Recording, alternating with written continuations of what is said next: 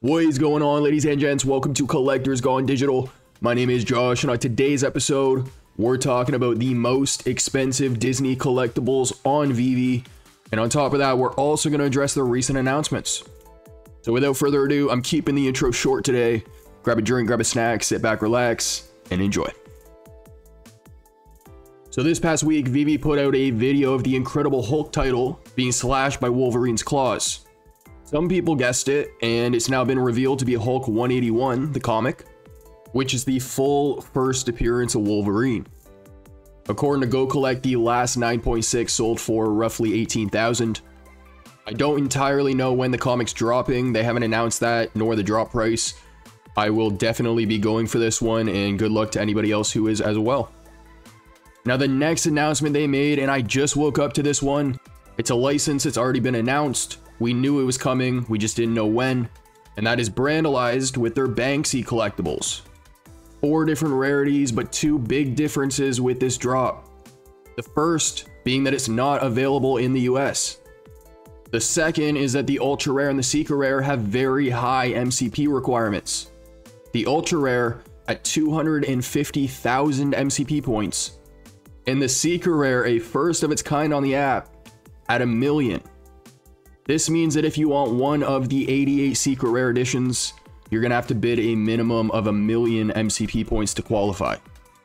So the ultra rare and the secret rare are going to be highly collectible pieces. I do also feel like they kind of did this because they didn't get the licensing rights for the US. So they wanted to make it even harder for people who are eligible to get it to get it, if that makes sense. Now, what's always funny about stuff like this is you can grab the piece in the secondary market afterwards. The drop price for the set is going to be 60 gems. I do anticipate the price to be way higher than that in the secondary market for one of the 88. But if you don't have the MCP points or if you do live in the States, uh, the only way that you can pretty much grab it is going to be in the secondary market.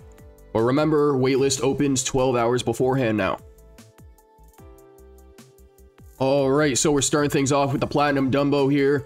And we do have some uh, collectibles you wouldn't expect to be on today's list or others that you would expect to be more expensive. Let me put it that way. And we're also going from least expensive to most expensive. So like always, I got some fun facts about the collectible and then we'll highlight the price at the end. But the original Dumbo film was produced on a significantly lower budget. And this actually had to do with financial constraints caused by World War II.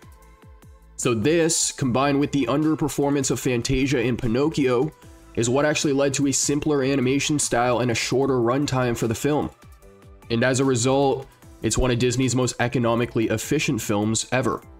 If you guys are looking at adding Dumbo to your collection, he's currently going for 137 US dollars. Now we do actually have another Dumbo piece on today's list, so I'm going to save some more facts for uh, later on in the episode. But moving on, we're going to have the Golden Moment R2-D2. So listen to this. George Lucas actually got the idea for his sounds from a reel of dialogue marked R2D2. And this was during the production of American Graffiti. Now, the actor, Kenny Baker, who portrayed R2, he often had to improvise the movements inside the droid. So, for example, during the filming of The Empire Strikes Back, he actually had to react quickly to keep the droid upright while they were filming in the uh, challenging terrain. So some of R2's random movements is because the actor inside actually had to do it. So I thought that was neat. Another really interesting fact about him is that in A New Hope, R2 carries the secret Death Star plans. But when they were filming on set, the plans were actually represented by an actual disc containing secret production notes and Easter eggs for the crew. So it ended up being this actual real life hidden message, R2 being the carrier. If you guys are interested in grabbing R2, his floor price is 148 US dollars. Next up, we got Mickey's signature. The second appearance of his signature on the platform. Just want to point that out. But during the design of the signature, Walt wanted it to be playful and legible to ensure that it would be iconic and easily identifiable over the years. Since then, the signature has evolved to reflect changes in graphic design as well as branding strategies but it's also influenced the creation of several fonts. So for example, the Waltograph font. So this is a font inspired by the handwriting of Walt Disney, but it also incorporates elements of Mickey's signature. If you guys want to add this piece to your collection, it's currently listed at 195 US dollars. Next up, we have the Heavy Metal Ursula poster. Now, her character design and personality were inspired by the famous drag queen Divine, who was known for her outrageous style and larger than life persona. She's an octopus, but get this early concepts depicted her as a lionfish and then later a manta ray, before the final decision was made to make her an octopus.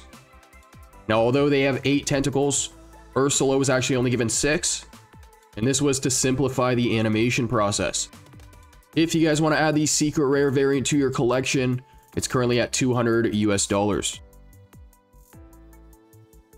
Now here's the other Dumbo piece I was talking about, and it's his Platinum Moments poster. So some more facts about the film. Timothy Q, Dumbo's mentor and best friend. He was voiced by Edward Brophy, a character actor who often played tough guys in films. Now several scenes were storyboarded but ultimately cut out of the film, and one of these sequences included Dumbo and Timothy encountering a group of anthropomorphic circus animals who teach Dumbo how to perform tricks. If you guys want to add the Dumbo poster to your collection, it's currently at 202 US dollars. Up next, and I did not expect this one, but we have Flo from the recent Cars series. So Flo is inspired by a 1957 Motorama show car, the General Motors Motorama Firebird 2. And in the films, her backstory is that she's a former Motorama girl who traveled the country before settling in Radiator Springs. Now, we just had our V8 Cafe drop on the platform as an entire environment, which is awesome. But this cafe is modeled after real life roadside diners and gas stations from the 1950s. And this is going to be the same era that the car comes from. If you guys want to add Flo to your collection, he's currently listed at 248 US dollars. Next up, we got a comic, and it's from Disney a Donald Duck comic called That's Your Life. So this issue was published in January of 1966, and to this day, it's one of the most beloved stories featuring Donald Duck. It's a parody of the popular show This Is Your Life, which aired from 1952 to 61. In the comic, he's an unsuspecting guest on the fictional show, and various characters from Donald's past appear to recount humorous and embarrassing stories about him. And if you guys want to add it to your collection, it's currently going for 222 US dollars. Next up, and I'm just going to make this one quick because I don't feel like I need to go into the background of these three characters, but we got the Mickey, Minnie, and Donald Platinum Moment posters. Minnie is currently going to be listed at 265 US dollars, Donald 287, and uh, Mickey Mouse all the way up at 400. Moving on, we got another comic on the list this time with Uncle Scrooge. So he's known for his vast wealth, which he stores in a massive money bin, and this bin is located on Killmotor Hill in Duckburg. Now it's going to be filled with gold coins, cash, and treasures that he's collected from around the world, so it's also a symbol of Scrooge's adventurous past. And the many artifacts and treasures inside represent his life's work. Now, just like our last comic, I am talking about the secret rare as well here, and uh, if you guys want to add it to your collection, it's currently listed at 550 US dollars. Now coming in at the most expensive collectible on the platform, I don't even have a slide for it. It's an obvious one and we've talked about it a lot on the channel before, but it's the partner statue and it's currently going for 1300 US dollars. Now rounding things off with some honorable mentions here, aka the next five on the list. We're gonna have the Dinglehopper, the secret rare Little Mermaid uh, Disney poster. We're gonna have the platinum version of Elsa, which is crazy that this is more expensive than the uh, Golden Moments version. The Bakery, which is a concept art piece. All together now, the iconic Steamboat Willie, and Ariel and Ursula, another poster. Dinglehopper's going for 125, Elsa 120, the Bakery 107, all together now 105. 105, wow and Ariel and Ursula at an even 100. Ladies and gents, that's going to conclude today's episode. I hope you enjoyed. Those are the most expensive Disney collectibles on the platform with some honorable mentions.